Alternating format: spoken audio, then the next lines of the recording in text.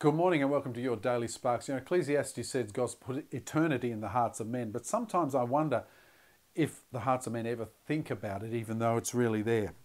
And particularly as Christians, it's time for us to recognize our place as citizens of God's kingdom in eternity, not where we're living now.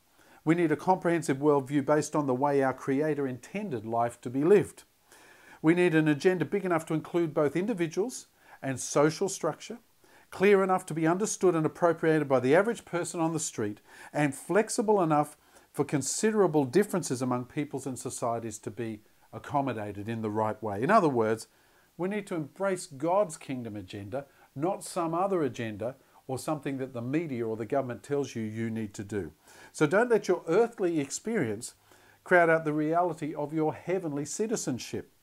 We are to focus on the returning King and his kingdom, not on this world and the lesser kingdoms. So today, as you go into the world, I want you to remember you are royalty. If you love Jesus, you are a son or a daughter of God, a prince or a princess. Live as royalty because your kingdom's not of this earth, it's in eternity.